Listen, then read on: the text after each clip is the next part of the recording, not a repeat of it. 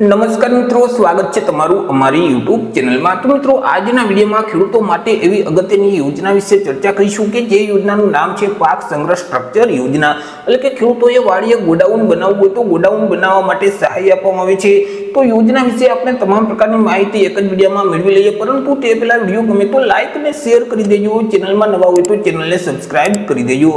તો ચાલો મિત્રો, વિડીયોની શરૂઆત કરીએ. મિત્રો, આજે પાક સંગ્રહ સ્ટ્રક્ચર યોજના છે તે યોજના ગુજરાત સરકારનું જે બાગાયત વિભાગ છે તેમના તરફથી અમલમાં મૂકવામાં આવેલી છે. જેથી કરી સ્વાભાવિક છે કે ગુજરાતના તમામ ખેડૂત ખાતેદારો યોજનાનો લાભ મેળવી શકશે.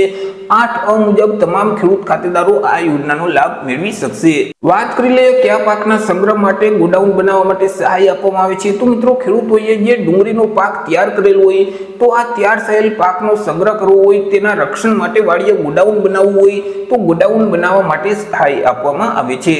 ચર્ચા કરી લઈએ કે કેટલી સહાય મળવા પાત્ર થશે, તો આ યોજના અંતર્ગત તમામ ખેડૂતોને એક સરખી સહાય આપવામાં આવે છે. પછી તે એસસી કેટેગરીના ખેડૂતો હોય, એસટી કેટેગરીના ખેડૂતો હોય, ઓબીસી કેટેગરી, ઈડબ્લ્યુએસ કેટેગરી કે સામાન્ય વર્ગના ખેડૂતો હોય, તમામ ખેડૂત ખાતેદારોને યોજના અંતર્ગત એક સરખી સહાય આપવામાં આવે છે. આ યોજના અંતર્ગત ખેડૂતોએ જે વાડીએ ગોડાઉન બનાવેલ છે, તે ગોડાઉન બનાવવા માટે ખરેખર જે કુલ ખર્ચ થયેલ છે, તે કુલ ખર્ચના પચાસ ટકા લેખે સહાય આપવામાં આવે છે. અથવા તો વધુમાં વધુ રૂપિયા સત્યાસી હજાર પાંચસોની સહાય આપવામાં આવે છે. બે રકમમાંથી જે રકમ ઓછી હશે એટલી ખેડૂતોને સહાય મળવા પાત્ર થશે. યોજના અંતર્ગત તમારે કેટલી ક્ષમતાવાળું ગોડાઉન બનાવવાનું રહેશે તો આ યોજના અંતર્ગત તમારે મિત્રો પચીસ મેટ્રિક ટન ક્ષમતાવાળું ગોડાઉન બનાવવાનું રહેશે. વાત કરી લઈએ અરજી ફોર્મ વિશે તો આ યોજનાનો લાભ મેળવવો હોય તો ખેડૂતોએ ઓનલાઈન અરજી ફોર્મ ભરવાનું રહેશે. જે આઈ ખેડૂતનું પોર્ટલ છે, I Khedut dot Gujarat dot G O V dot in website છે તે વેબસાઇટ ઉપર જઈ ખેડૂતોએ ઓનલાઈન અરજી ફોર્મ ભરવાનું રહેશે. મિત્રો, વર્ષ બે હજાર ચોવીસમાં ઓલરેડી અરજી ફોર્મ શરૂ કરી દેવામાં આવેલા છે. તમારે અગિયાર પાંચ બે હજાર ચોવીસ સુધીમાં ઓનલાઈન અરજી ફોર્મ ભરવાનું રહેશે. અરજી ફોર્મ ભરવાની જે છેલ્લી તારીખ છે તે અગિયાર પાંચ બે હજાર ચોવીસ છે. અગિયાર પાંચ બે હજાર ચોવીસ સુધીમાં આઈ ખેડૂતનું પોર્ટલ છે. તે પોર્ટલ ઉપર જઈ તમારે ઓનલાઈન અરજી ફોર્મ ભરવાનું રહેશે. ઓનલાઈન અરજી ફોર્મ સબમિટ કર્યા પછી તે અરજી ફોર્મની પ્રિન્ટ તમારે કાઢી લેવાની રહેશે અને અરજી ફોર્મની પ્રિન્ટ સાથે કયા કયા ડોક્યુમેન્ટ જોડવાના રહેશે તેના વિશે ચર્ચા કરીએ. તો અહીં ખેડૂતનું જે આધાર કાર્ડ છે તે આધાર કાર્ડની નકલ સાથે જોડવાની રહેશે.